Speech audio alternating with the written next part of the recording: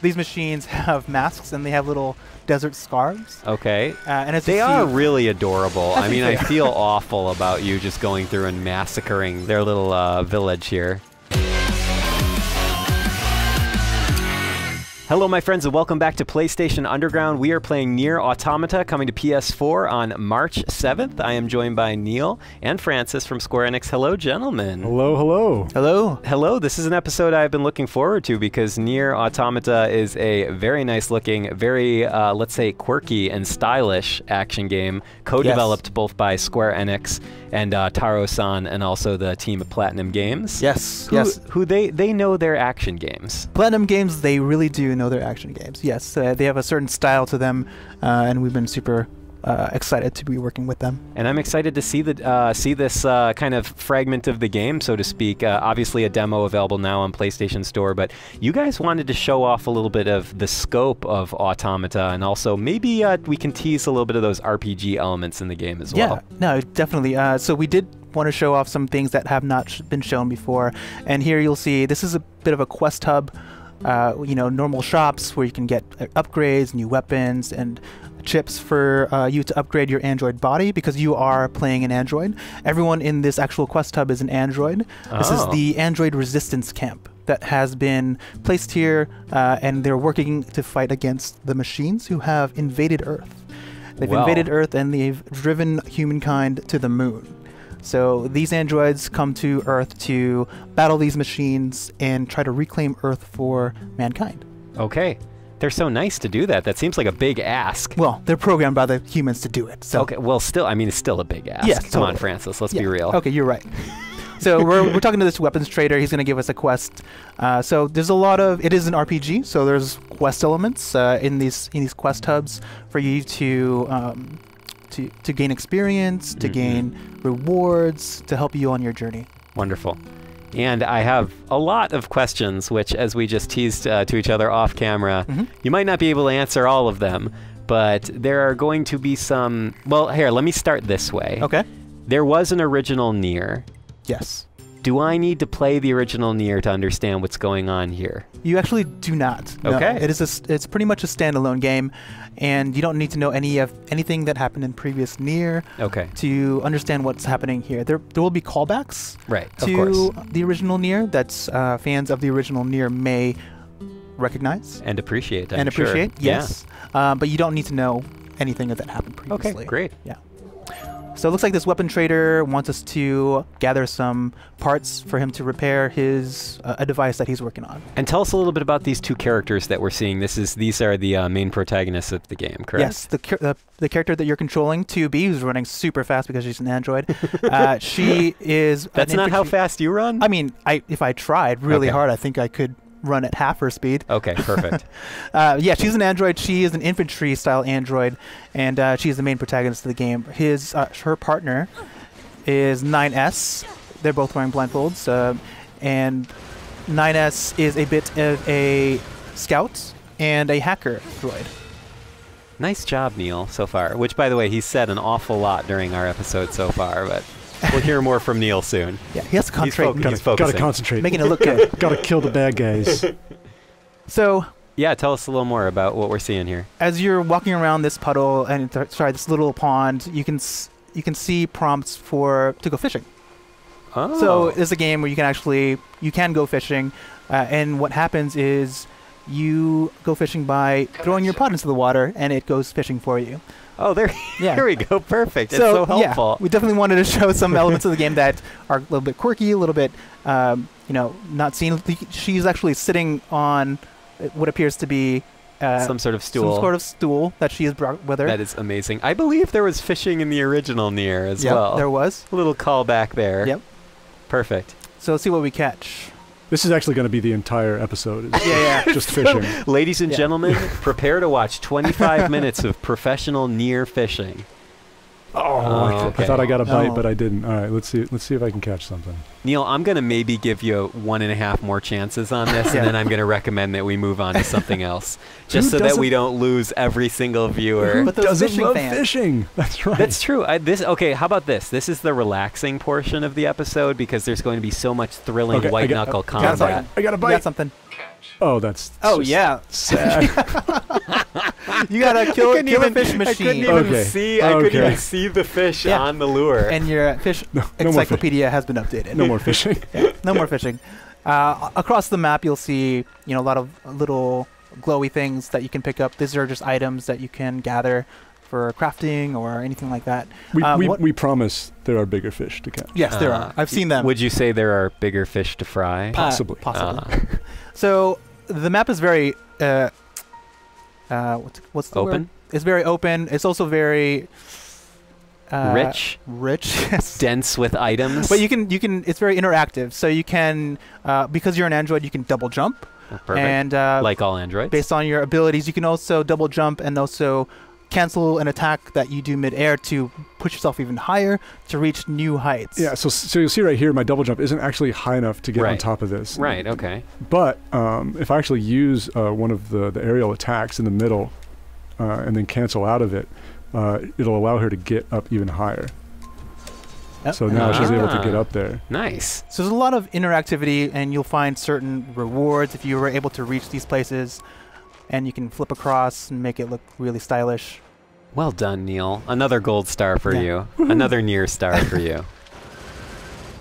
Now tell me a little bit about the combat system because obviously the team of Platinum Games prides itself, and rightly so, on extremely frantic, skill-based, uh, really rewarding combat systems. I mean, it's especially Yes. the case in one of my uh, some of my favorite action games, Yes. which I will not name here because they are from different companies. But uh, Yeah, so- tell tell me a little more. So um, part of the combat system is actually the pod. The pod is your ranged attack uh, weapon.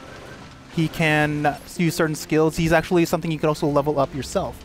Okay. So your pod can level up with you, and uh, we'll show off one of the abilities. That's, that's the laser. Let's do it one more time so we can see the actual full-on laser. Charge so- it up. Yeah. Yeah. wait- waiting to recharge my lasers. Oh, that dodge is rad sauce. So the dodge is if you hit dodge at a certain point, like right when the enemy attacks you, yes, you'll disappear into the ether and you'll like you'll completely dodge the attack. It looks really stylish. And then if you hit an attack button right afterwards, you'll do a special dodge attack. Looks really cool. So we're gonna change our abilities out uh, so we can show off another one. And we're going to change to the hammer. Please. So your pod is going to actually turn into, materialize into a hammer, and we're going to smash one of these enemies to bits. Oh my god. That's fantastic. Boom. it's maybe a little overkill for It's that little bit. particular enemy. But we got to make sure they're dead, Right. you know? Yeah. Always make sure.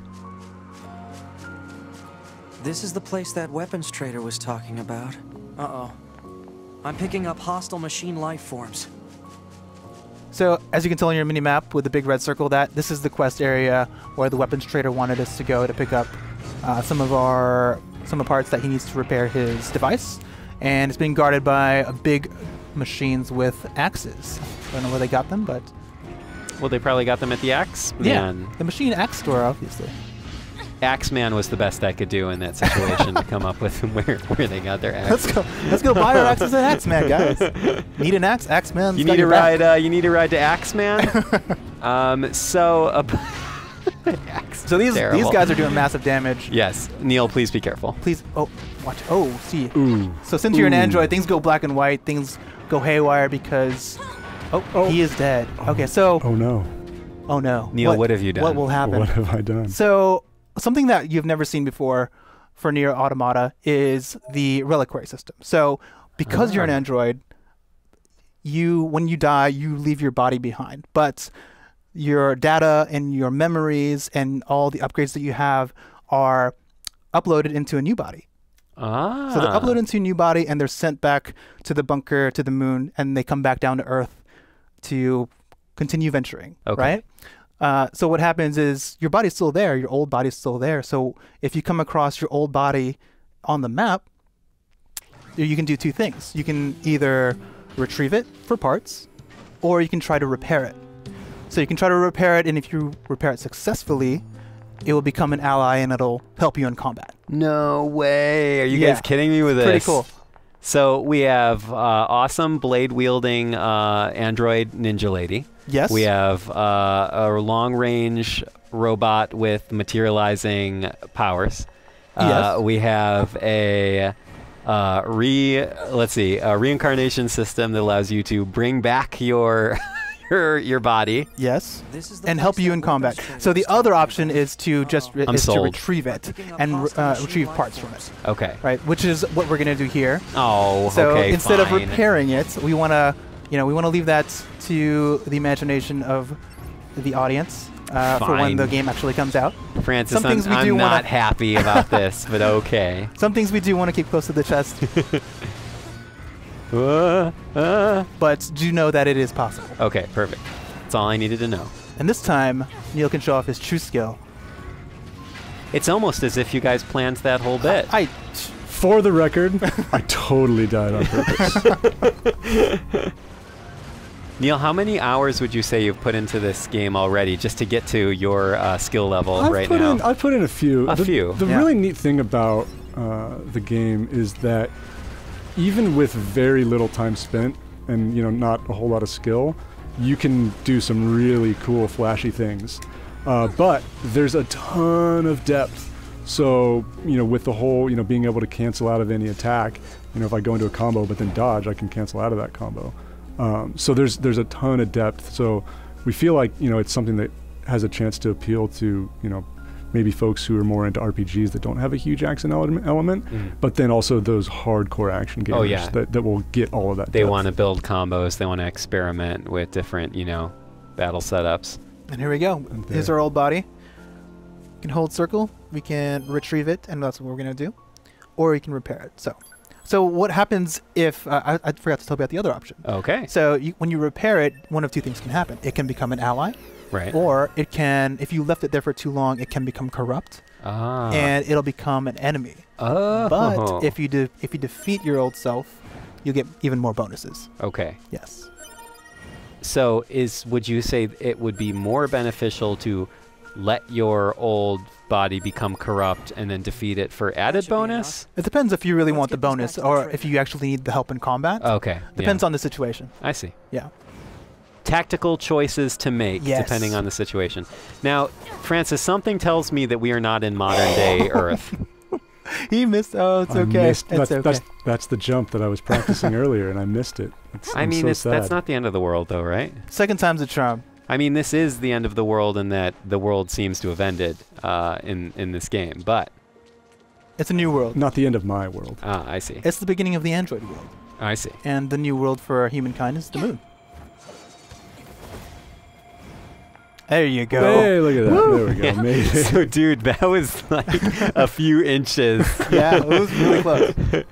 Well, it is it just kind of goes to show, you know, there's these very high locations you can get to, and you know, there might be some things that uh, You might want to. You might. You, are you saying you might want to poke around and uh, explore a bit? exactly. Okay. Now So- tell me a little bit about the weapon selection that we have here, guys. Yeah, so there are four types of weapons that Okay. 2B can wield. Uh, other than her pod, she can wield a greatsword, which is the two-hand sword that you see on her back Mhm. right now. There is a one-handed small sword, which is the the katana that she's wielding right there. Virtuous Contract, that's the name of it. Uh, she can also just fight with her bare fists. She's an android, so she's very strong, so she can really like manhandle these uh, androids. Okay. And um, that's uh, the fist weapon. So she, Okay. she, she, she can wear bare fist. She can sorry utilize her bare fists Bare fist, or she actually swords. has actual fist weapons, which we've seen Oh. in uh, previous trailers awesome. as well. Awesome. And the other, the fourth, is the lances, Okay. Yeah, like And- spears. And then in terms of like skills and um, you know combo types, is this a system that has? Is this a game that has an unlocking system for your skills? Like for example, if I want to wield the great sword, Mhm. do I unlock various great sword skills? No. Uh, how is that set up? so great swords. Uh, once you once you acquire a weapon, Mhm. you can utilize it whenever you want. Fully utilized. Yes. Got it. Yes, but the the cool thing about it is you can have two sets of loadouts. Okay. So you can have, uh, depending on your playstyle, how you want to play. If you like a certain weapon better than the others, you can have, you know, you can utilize your fist weapon with your small sword, or you could, or your fist weapon with your great sword, or your lances with your small sword. Uh, depending on how you want to play, you can switch those out, and uh, they they're attached to small attacks, light attacks, and heavy attacks. So, you, but you can have your light sword on a heavy attack button or a light attack button. They'll do different things. Okay. And how is player progression then measured and also kind of rewarded in the game? If you're not unlocking skills, kind of how does players advance the, you know, uh, t- is it 2B? I don't want to get her name wrong. Mhm. 2B skills and, and whatnot in her, her level. We got rewards, yay! Congratulations. So the progression is based on, it's level based. Level Uh, based. as you level up, you gain bonuses to your attack. This will probably happen as we go. You'll get bonuses to your attack, your defense, and your HP. Cool. Yeah. Now, what's that lady got to say? Looks like she has something for us. Okay. This is Anemone. She is actually the resistance leader of this area. Same composer in this game as the original Nier? Do we know off the top of your head, Francis? It is, yes, it is. Yeah, I, I, it has that same kind of haunting yes, melodies. yes. Yeah, I love it. Uh, the music is very beautiful. It's gorgeous. Yeah, Yes. that was actually kind of maybe one of my my highlights from the original game was was the compositions. Yeah, people love the music from the original Nier, and this one is no different. Okabe Okabe-san, uh, who did the music for the original Nier, uh, they had a concert in last April in Japan, which was very beautiful. Coordinates confirmed for location specified by Resistance Leader. Understood, 042. Placing marker on target. So the desert heat is going to make resupply efforts difficult, 2B. The Please pod- make sure you're ready before you go. sorry, You're Second like, was done. the, So the- Ah, so the pod does multiple things. This actually acts as oh look, we just found something behind a waterfall. Ooh. You gotta explore. There's always treasure behind the, water. waterfall. You always gotta check. Always. Yeah. If you are playing a video game and you see a waterfall, I want you to check Yeah. that waterfall. It doesn't matter if it's like an 8-bit waterfall. No, it doesn't a 3D matter. waterfall. No. There's always something there. Could be a black it. and white waterfall, Yeah. a colored waterfall. It doesn't matter. Rainbows, I don't care. You check behind that waterfall. Yes. So uh, the pod acts as more than just a ranged attack weapon. It acts as your communication device between Earth and the bunker. So those uh, it'll display holograms and it'll it'll tell you where you need to go. Uh, the operator on the other side will be like, "This is where we marked on the map. This is where the quest is. You need to go here." Awesome.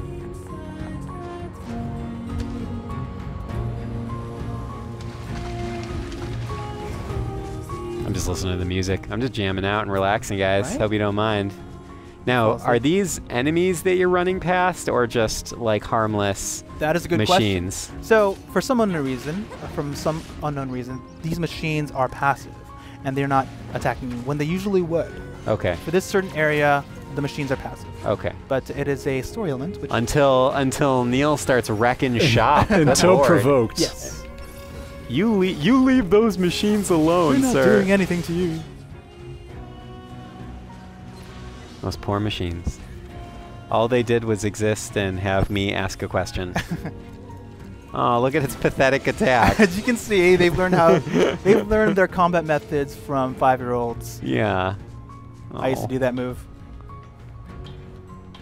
Climb this tower, Climb see if there's any goodies right up. at the top. If there are no goodies at the top, I'm gonna be real disappointed. Ah, There's a goodie. box. Check the box.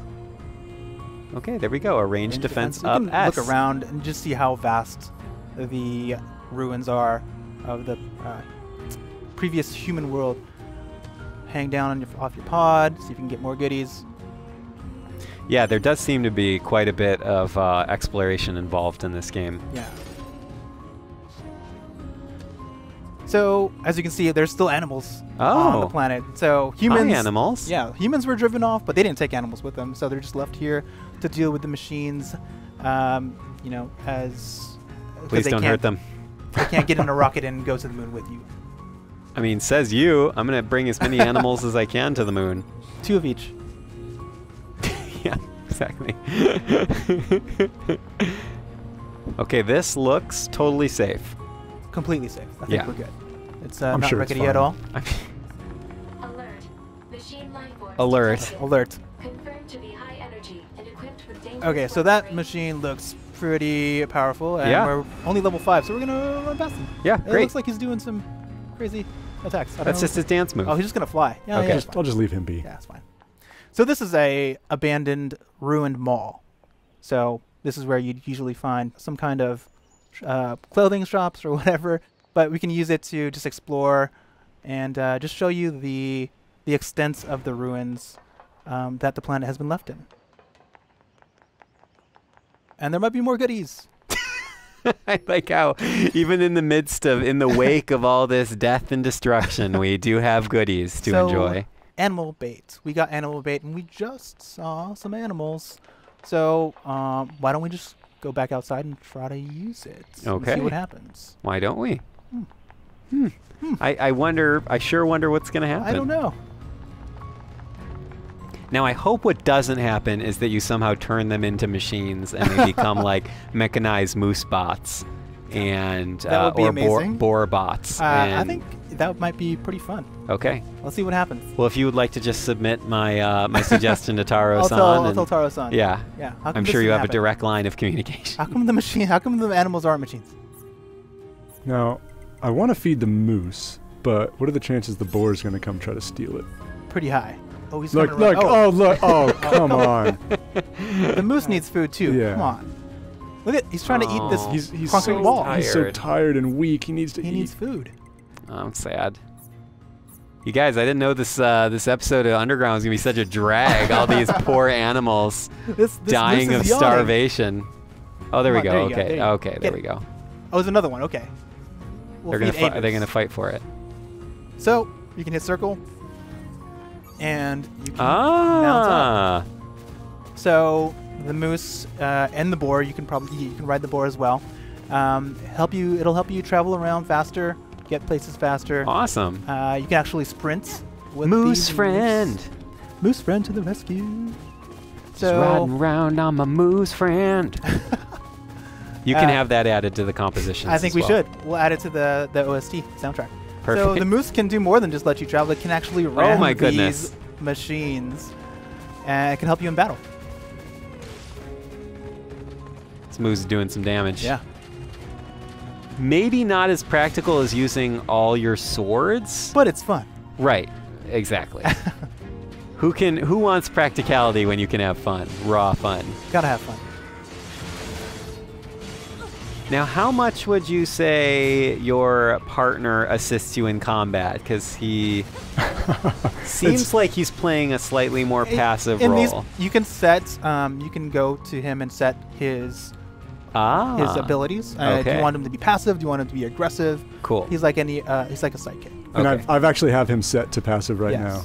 I uh, see. Just so that he you can show off everything. Exactly. I he, see. He's quite helpful. 9S is uh, Maybe he's a good almost dude. too helpful when you're trying to demo the game. Yeah, especially when you're trying to die on purpose. I see. Um, yeah, sometimes he will uh, he will come it to the all rescue. Makes sense. I so see. the landscape has drastically changed. We were just in a ruined, foresty, jungly area, and now we're in a deserty area. That's a word, right? Deserty. Deserty? I think yeah, that's a I word. think you. I mean, the world is over, man. You can. We're in. We're in a fallen uh, Webster's desert. dictionary does not think you- exist anymore. Yeah, it does not. Currently, our struggle against the machine life forms is at a stalemate. I think we're getting a pep talk. This battle has raged for far too long. I am sure all of you find the effort grueling. Is this a human? But now is not the time to give up. Now, more than ever, That is we something must we forge cannot on. reveal. Oh. Remember that several hundred thousand humans on the moon want nothing more than to return to Earth. Glory to mankind. Those council broadcasts are always so stiff. So, So a council of some kind. Interesting. Glory to mankind, guys. From access point.